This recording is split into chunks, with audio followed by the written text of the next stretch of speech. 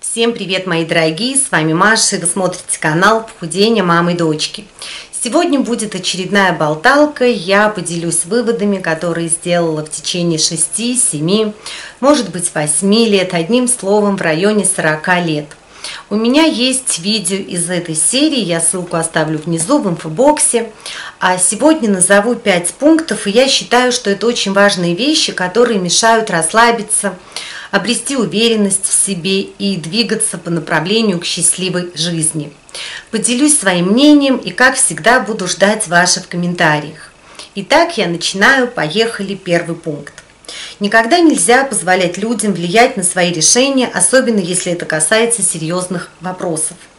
Если мы решили что-то сделать, и это наше осознанное решение, то нужно делать несмотря ни на что. И даже если нас начнут отговаривать, и это будут наши близкие люди, все равно никогда нельзя никого слушать. Если мы решили что-то сделать, нужно двигаться по направлению к своей цели.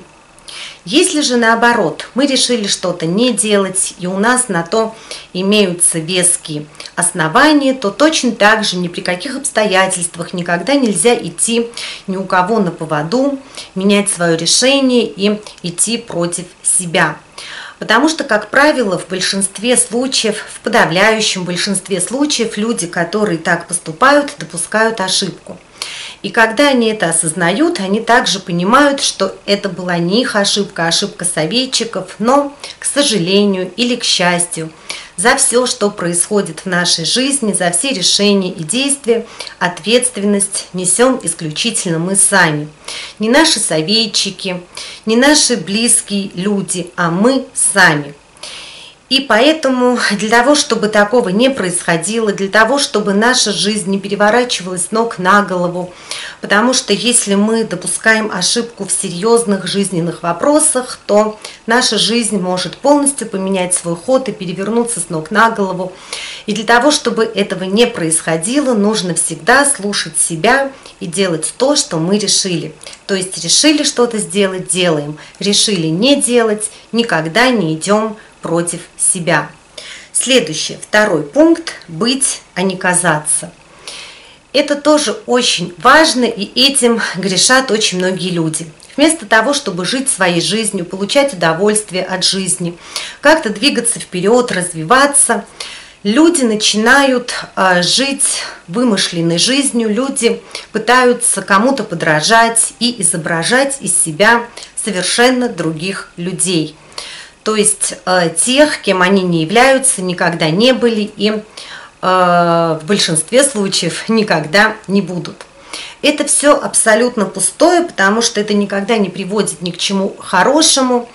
Э, люди тратят на это очень много времени, очень много сил, очень много каких-то ресурсов, и в итоге они ни к чему не приходят, потому что это, это очень глупо, это абсолютно не то, что нужно делать. И в погоне за какими-то иллюзиями и мечтами люди упускают свою жизнь, теряют время, и потом, когда э, они понимают, э, что они ошибались, как правило, время упущено, и очень многое потеряно, то, что мож, могло быть достигнуто.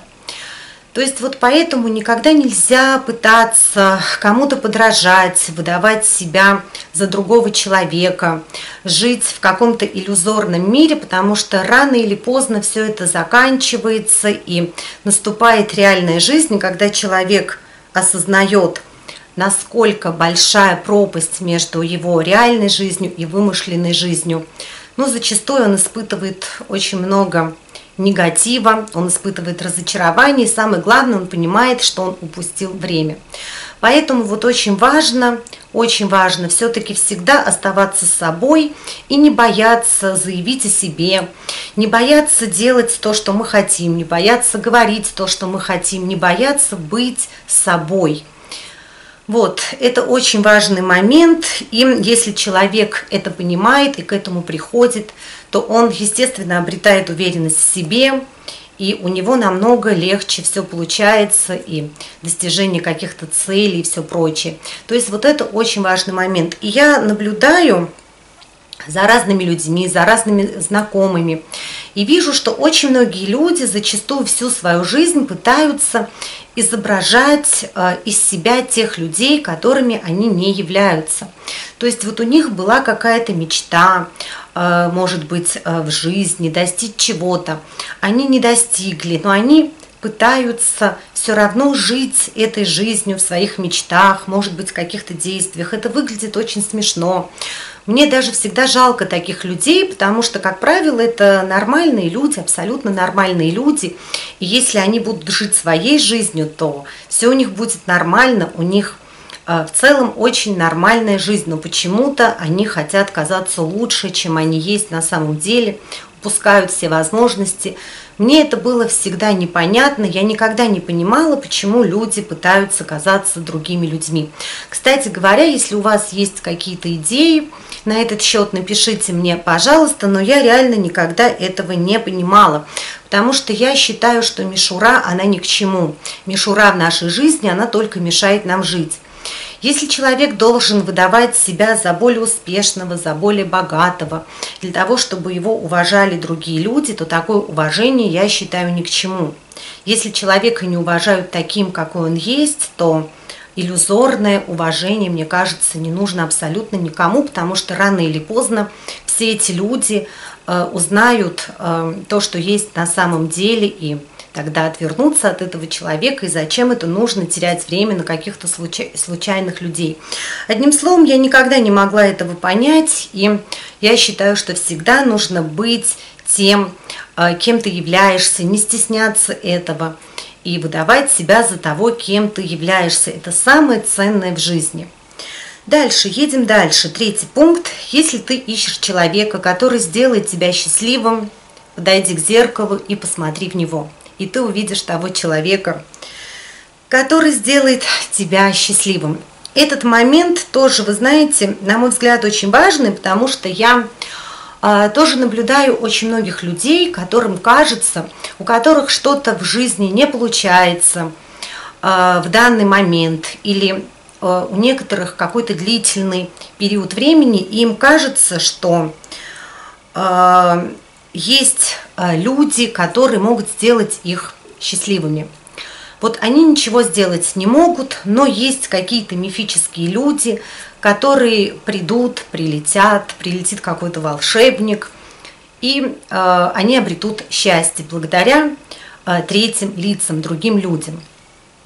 Это все не так, потому что Счастье идет изнутри, и каждый человек э, сам может сделать себя как счастливым, так и несчастным.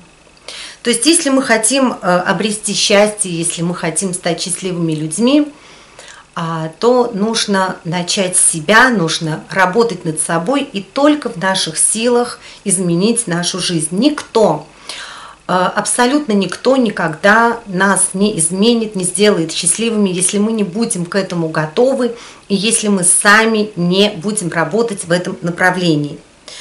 Поэтому все начинается с нас, все в наших руках, все зависит от нас, от нашего мышления, от нашей уверенности в себе и в том, что только мы можем изменить себя во всех сферах, во всех аспектах абсолютно, только лишь мы сами можем сделать себя как счастливыми, так и несчастными.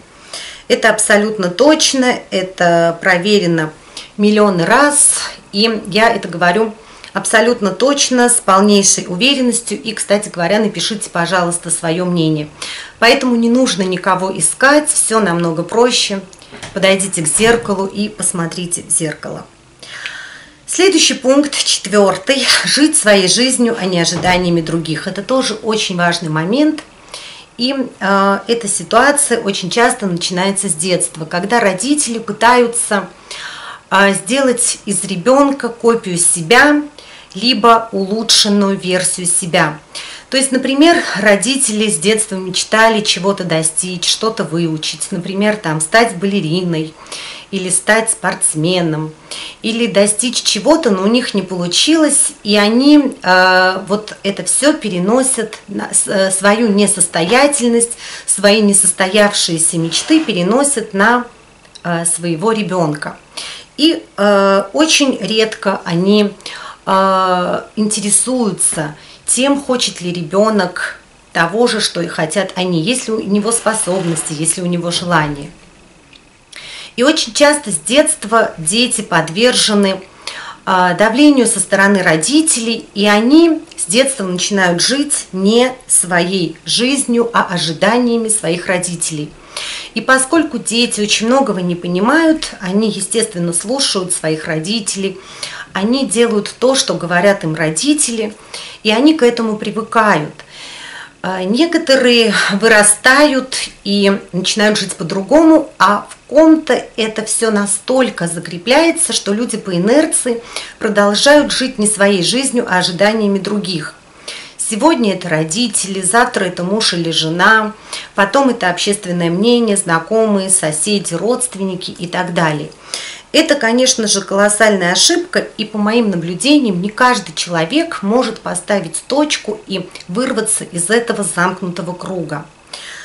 Удается, по крайней мере, это не всем. И очень важно э, осознать этот момент, понять и вырваться все-таки из этого замкнутого круга и начать жить своей жизнью а не ожиданиями других. Это очень важный момент, потому что, опять же таки, это наша жизнь, и мы сами э, творцы своей жизни, и мы несем ответственность за свою жизнь. Поэтому, если происходит такая ситуация, то всегда нужно вовремя остановиться, все переосмыслить, поставить точку и начать жить своей жизнью. Потому что иначе человек просто э, впустую тратит свое время, э, проживает свою жизнь, прожигает ее, и, как правило, он глубоко несчастный человек, ну, по крайней мере, вот по моим наблюдениям, в основном в 99% это так. Поэтому очень важно все-таки все брать в жизни в свои руки. Чем раньше, тем лучше. И, наконец, заключительный пятый пункт. Он в какой-то степени вытекает из четвертого. Никогда не идти на поводу общественного мнения. Это тоже очень важный момент, потому что также очень многие люди боятся жить своей жизнью, боятся делать то, что они хотят, не решаются, стыдятся, стесняются, и им кажется, что если они что-то сделают, то, что как-то выделит их из толпы, их могут осудить, э, на них как-то могут посмотреть другими глазами, и э, все в таком ключе. То есть это тоже очень важный момент, иметь смелость идти против общественного мнения даже не в плане э, идти против общественного мнения, а жить своей жизнью и не обращать внимания на общественное мнение. Потому что, по большому счету, общественного мнения как такового не существует. Потому что людям э, в своем большинстве наплевать на других людей. Они могут э, посплетничать, они могут позлословить, но это как правило, делают люди, которым абсолютно нечем заняться. Это определенная категория бездельников, недалеких людей, бабок на лавочке, э, которые обсуждают, осуждают других людей, потому что им намного проще обсуждать других, чем заниматься своей жизнью. Потому что для того, чтобы заниматься своей жизнью, нужно приложить определенные усилия, нужно думать, нужно действовать. А намного проще сидеть на лавочке и обсуждать э, своих соседей, знакомых, родственников и прохожих. Поэтому это удел абсолютно глупых, тупых и недалеких людей. А все остальные люди, которые э, имеют свое дело, которые заняты собой, своей жизнью, своими э, проблемами. Им глубоко наплевать на других людей, на то, что делают другие люди. Поэтому, опять же таки, все в наших руках и все зависит от нас. И обращать внимание на общественное мнение, идти у него на поводу нельзя никогда – Другой вопрос, что некоторым людям так проще жить, потому что, опять же таки, не нужно принимать особо никаких серьезных решений или совершать каких-то действий. Они живут по накатанной, э, как все, и им так проще. И если вдруг э, что-то происходит, какой-то вопрос, они всегда себя успокаивают тем, что они как все, и нельзя же идти против общественного мнения. Как правило, ситуация всегда такая – вот, поэтому всегда нужно просто задать себе вопрос, а что мы хотим, как мы хотим жить, как мы хотим прожить свою жизнь, и, получив ответ, уже действовать. Потому что есть люди, которым все равно, которые готовы э, жить как все и бояться общественного мнения, бояться своей тени и ничего в жизни не делать, просто сидеть сложа руки, ругать все и вся и находить всегда какие-то отговорки. И в то же время есть люди, которым наплевать на общественное мнение, которые живут своей жизнью, живут счастливо, делают то, что они хотят, развиваются, живут очень интересно, им абсолютно все равно, что про них будут думать другие люди. Поэтому, мои дорогие, у каждого человека есть выбор жить своей жизнью, либо э, жить с оглядкой на общественное мнение, и чтобы ничего в жизни не происходило, сидеть в таком тихом э, болоте и как бы вот ничего не делать. Так, конечно же, проще, спокойнее, но все-таки жизнь не в этом, а жизнь в движении, в развитии и так далее. Вот.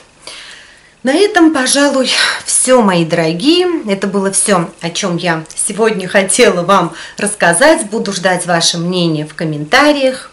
Всем отличного настроения, удачного дня и до скорой встречи.